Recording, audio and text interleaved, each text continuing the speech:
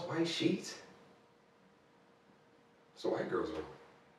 Get it? Yeah,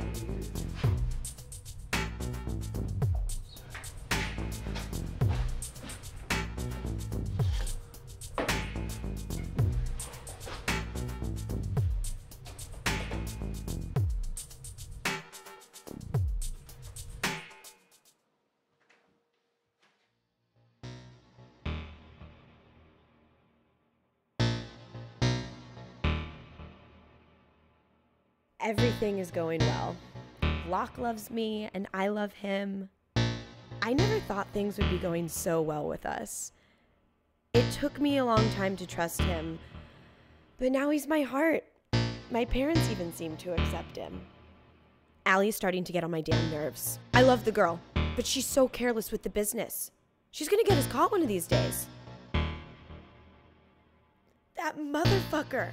After everything I've done, after everything he's put me through, he wants to go out and start fucking other bitches? Oh, hell no. I can't believe he would cheat on me with that piece of shit. I don't know what to do, but Allie wants me to teach him a lesson. I've never felt so alone, so isolated. He betrayed my trust, and now we can't ever be together.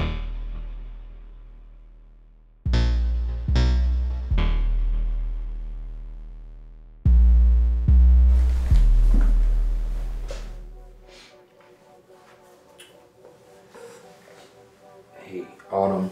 Uh, I'm sorry. I'm sorry about everything that happened to you. I, uh, I never got to get to know you. I read through your journal and I got to know you a lot better.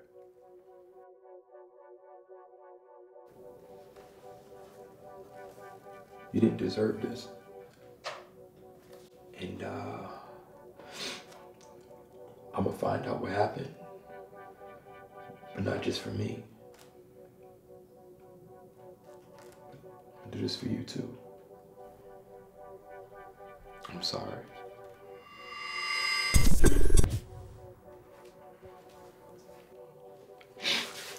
I gotta get the fuck out of here.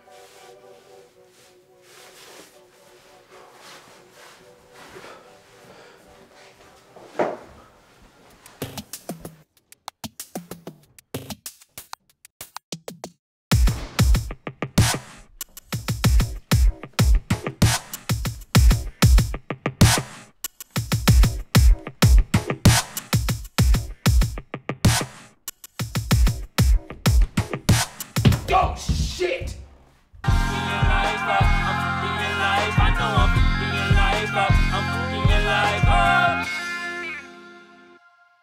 Black and sexy, baby.